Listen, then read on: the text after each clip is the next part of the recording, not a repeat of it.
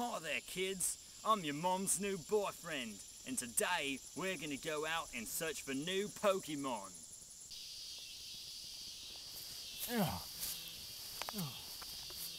Yeah, we got quite a common find here. It's a mother oddish with its baby.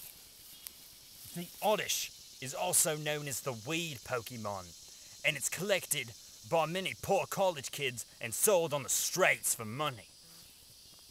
Oh, right. You see, the oddish likes to bury itself in the ground, and then the little leaves stick up, and the leaves are what is treasured by collectors and drug addicts. So to save this oddish from those horrible druggies, I'm gonna catch the mother and leave the baby to fend for itself. All right, I'm gonna sneak up on it. Pokeball, go! All right, so I caught the mommy oddish. Let's go.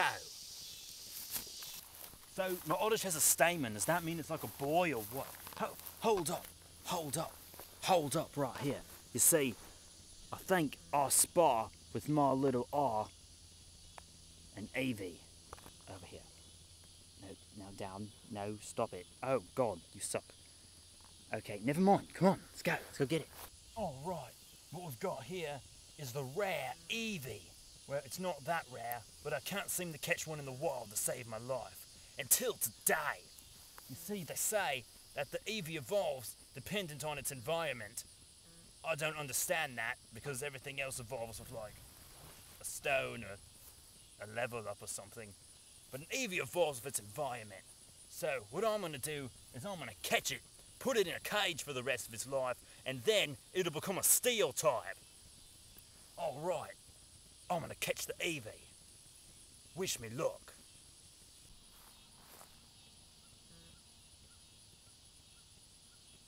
Boop.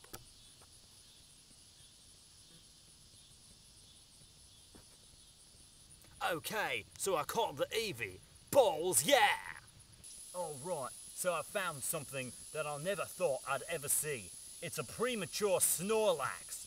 Look how tiny it is. It must have been newborn like seven minutes ago. There's no placenta, but there's a Snorlax, and it's already eaten a ton in the seven minutes of its life.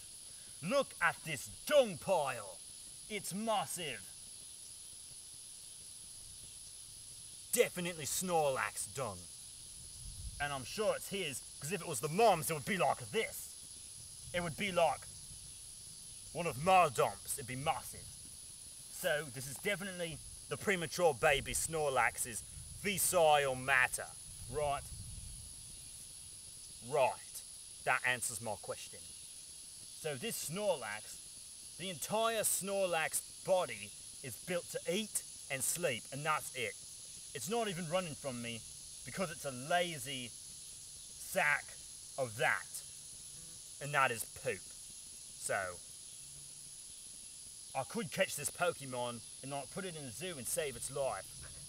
But it's not really good in battle. And if a Pokemon's not good in battle, then what's it good for? Other than selling its drugs. So, I'm gonna leave this Snorlax in the wild. To die.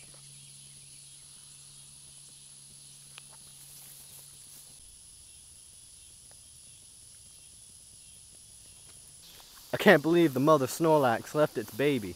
Well, it was probably for its own good. I mean, she might have accidentally eaten it. Wait, wait, there's something else up here.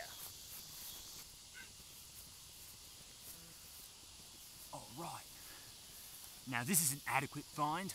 I've snuck up behind it, and its ears are pointed that way, and it's mesmerised by the cameraman's ugliness, so it probably won't go anywhere. Odds are. Now, this is the rare Clefairy. You see, gajillions of years ago, the Clefairy fell from the moon.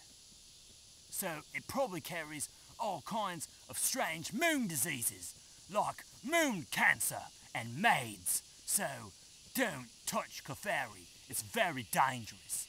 And I wouldn't touch it if it would save my wife's life. Mostly because I hate my wife, but also because I don't want moon cancer. So don't touch Clefairy. Remember, Red and black, friend to Jack. Pink and brown will kill you. So, Clefairy. Sweet Jesus cannoli! It's a friggin' Bulbasaur! I've never actually seen one in the wild before.